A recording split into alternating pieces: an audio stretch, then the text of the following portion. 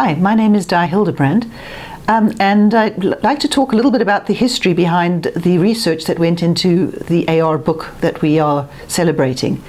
Um, firstly, thank you very much to my co-authors, David Ming, whose whose vision drove this book and uh, who did all, uh, most of the work behind it, um, David Glasser, who originated the approach that we used to um, solve the attainable region problem. And then my co-authors, Ben, who was my first postgraduate student, and uh, Matt. Also thank you to Wiley, Unisa and Wits for their support. Um, the book is a distillation of many years of research of many students. And in fact, we have about five generations of students who've worked in attainable regions. Um, David Glasser started the research. I was his first postgraduate student. Ben Glasser, in turn, was my first postgraduate student. Um, Matt was a, a student of, of Ben's. And then David was a student of, of ours and also worked with Ben and Matt. And then we've even had students who followed and who've been supervised by Matt and David. So, you know, we've had many generations of students, and the ideas in the book are from all of them. So, thank you very, very much to all of you. Uh, a little bit of history from my side. I was looking for a PhD topic and I spoke to David Glass and he came up with many topics and he was telling me all about them and he was all excited about them. But none of them actually could I even understand what the question was, never mind how he was proposing to solve it. And then he was talking about this reactor optimization problem and how to find the best reactor. And I thought, well, I understand the problem, and surely the answer must be easy, and therefore that's the one I'll do. I'm, I'm, a very lazy person, so if there's an easy problem over a hard problem, I'll choose the easy problem any day. But um, it wasn't all that easy, in fact, uh, because it's taken us many, many generations of researchers, and we're still busy answering questions around how to find the best reactor. Um, as a student, and I'm talking now for other students who, who are busy with research and who might be wondering about you know why they're doing their research and so on, I also went through that, and um, I certainly remember wondering if anybody would ever read my thesis. It was a great achievement, but you kind of think, is it just going to go in the library and end up there? And for all the students who are sort of finishing off their PhDs, those books sometimes do get read, and it does make a difference. And um, I did a seminar at, I mean, an, a sabbatical at Princeton, and it was very interesting right at the beginning stages of, of the AR research when I gave seminars and so on, and I'd have students who'd actually read the papers and were asking me questions, and it was actually very, very exciting. And the attainable region has sort of spread way past our group and has now become a standard concept in chemical engineering. So much so, if you go to conferences, there's often people who are doing research on attainable regions in all sorts of areas. And um, in fact, I don't even think we've actually, they, they, that the beginnings of the attainable region is even remembered. And uh, it's also spread that it's taught in many undergraduate courses from India to USA to Britain. And so it, it has, as a concept, taken off. Um, so, what is the, the attainable region?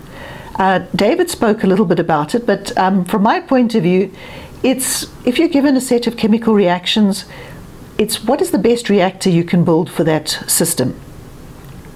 Um, Fritz Horn first posed this problem in the 1960s, but didn't get very far with answering it. Um, David and Fritz Horn and co-workers, Roy Jackson, then looked at trying to answer this problem and they came up with the maximum mixedness model. And David says it's one of his, sorry, there's two Davids here. David Glasser says this is one of his best papers he's ever written and probably one of the, the least useful as well because it got to an answer, but it wasn't a useful answer in that you couldn't apply it. But it did start him thinking so that when I came around looking for a PhD topic, he'd already thought of maybe representing reaction and mixing as process vectors.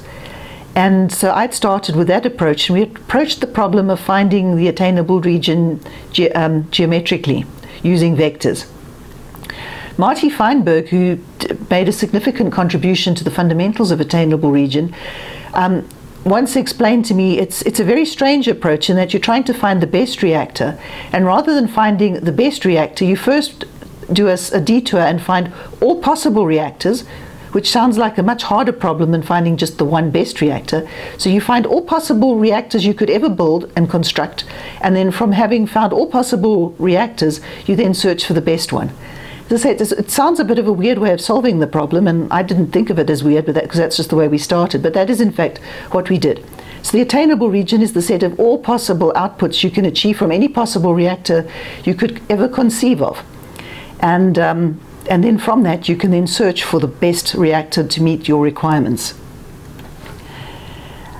Um, as I said, we've had many generations of students working on this, and from our initial beginnings, where we just looked at reaction and mixing in 2D, we've gone into 3D, and in fact, um, Tumi generalized this to multiple dimensions and wrote algorithms that we could generalize and that could find the attainable region in any number of dimensions.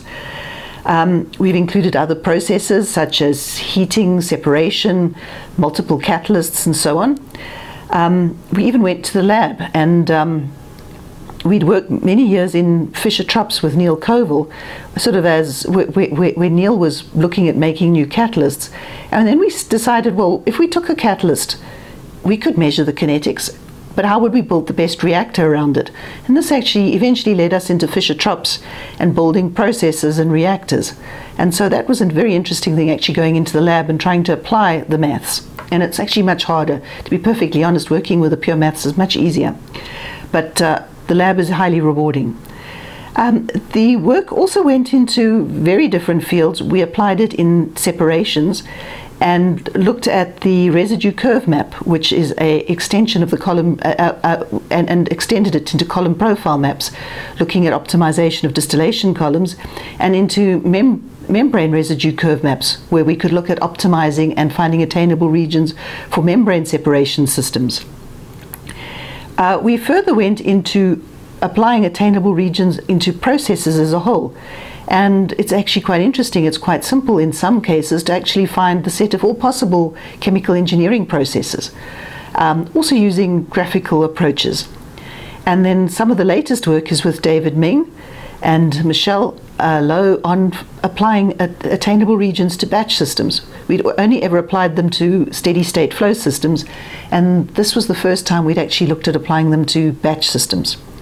Uh, we've also even applied them in comminution and looking at rock breaking. So it, it has had a wide um, expansion of, uh, of, of, fields using the same sort of approach as to how does one find all possible solutions and then find the best solution.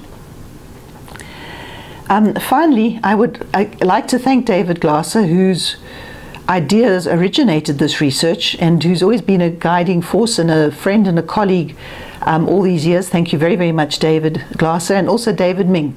Thank you very, very much for your idea in writing this book and your drive and vision that made it happen.